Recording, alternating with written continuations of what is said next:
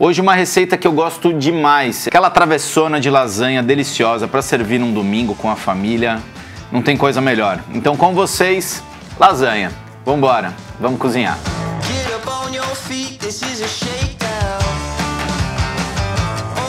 Sem muito segredo, eu vou misturar os ovos com a farinha. Eu vou enrolar a massa no plástico e vou deixar descansando, que é o tempo da gente agilizar os molhos três tipos de carne. Eu vou utilizar paleta, copa-lombo moído e eu vou usar também um pouquinho de bacon.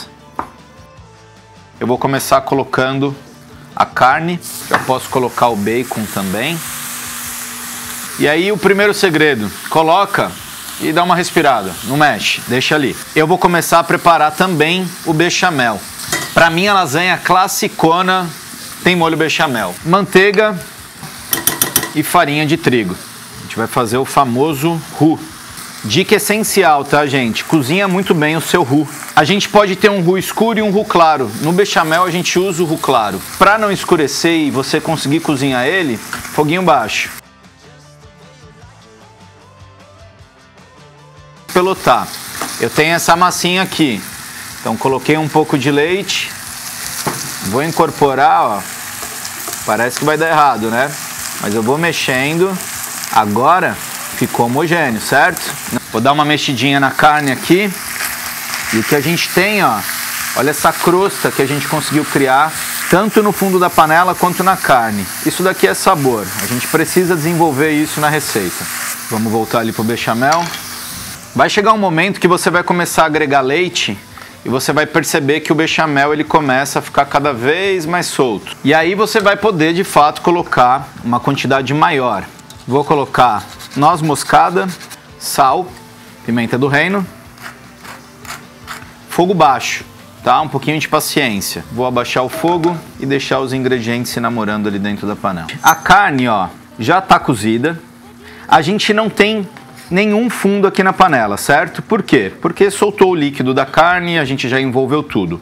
Agora a gente vai entrar com a cebola, com a cenoura, o famoso mirepoix salsão, cenoura e cebola. E também vou colocar seis dentes de alho. Eu quero desenvolver um fundo nessa panela junto com a carne e os vegetais. Para isso, eu vou colocar extrato de tomate, vou misturar todos os ingredientes e agora eu vou entrar num outro momento importante da receita. Deixar pegar o fundo de novo.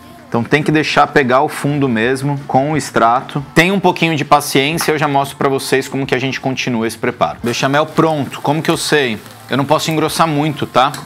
Mergulha a colher, levantou, eu passo o dedo. Tá vendo que não escorre? Segura.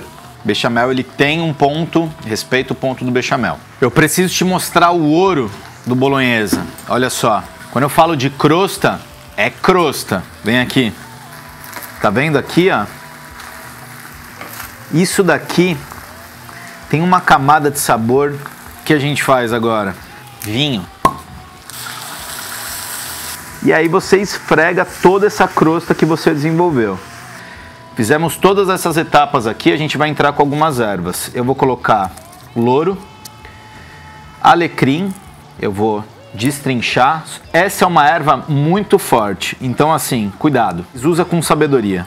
Eu vou dar um chezão aqui na faca. Mistura tudo. Olha só que coisa linda, gente. Pimentinha do reino.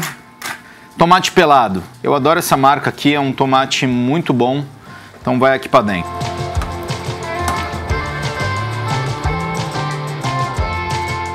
Só agora eu vou colocar o sal eu já tenho toda a base construída aqui e aí eu consigo identificar realmente o que eu preciso. Deixa eu ver. Foguinho baixo, a gente vai para massa e eu preciso dar uma dica crucial para transformar a sua lasanha em algo inesquecível. E olha só, essa é uma massa tem essa coloração e ela tem essa textura lindona, né? Justamente por conta da quantidade de ovos que foi utilizado. Aqui eu vou dividir ao meio, sempre cobre a outra metade para não entrar em contato com o ar, ela resseca muito rápido.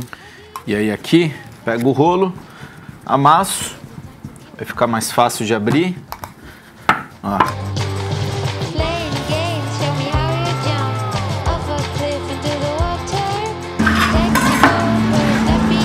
Massa no esquema. Agora deixa eu mostrar esse bolonhesa para vocês. Olha isso. Olha como que o molho tá envolvente. Então aqui, bolonhesa foi. Muita gente erra aqui. Agora, lasanha para mim, ela não pode ser um prato pesado. Por quê? A gente já tem massa sobre massa, molho e queijo. O que que acontece? Eu tenho muito amido aqui na superfície dessa massa que eu perco um pouco desse amido quando eu faço o processo de pré-cozimento da massa. Se eu levo ela crua para assar, esse amido vai soltar no molho e aí sabe o que, que você vai ter? Aquela lasanha bloco. O amido se juntou com o molho e fica aquela coisa, sabe? É gostoso? É gostoso. Mas, na minha opinião, você ganha muito fazendo o pré-cozimento da massa e levando a massa só para gratinar no forno. Eu vou mostrar para vocês. Segura, segura. Água quente. Dando uma regadinha no azeite para evitar que grude. Agora chegou a hora que é a mais divertida, montar a lasanha. Eu vou começar colocando um pouquinho do bolonhesa no fundo da assadeira, dando a massa aqui, ó colocar um pouquinho do bechamel. Não exagera, tá, gente? Esse é um segredo também na montagem da lasanha.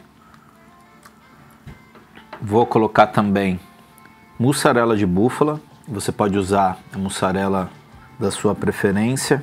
E claro, parmesão. E eu vou repetindo esse processo até chegar no topo.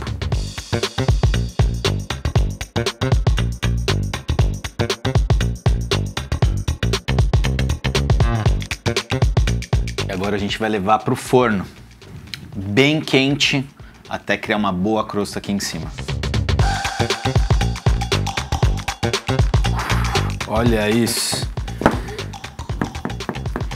Olha isso. Deve estar tá quente. Tô com medo de queimar a boca. Hum. Hum. Só mais um pedaço para ter certeza. Boa demais. Espero que vocês tenham gostado do vídeo. Não se esqueça de se inscrever aqui no canal. A gente se vê nos próximos episódios dessa temporada de inverno. Valeu. Tá bom demais.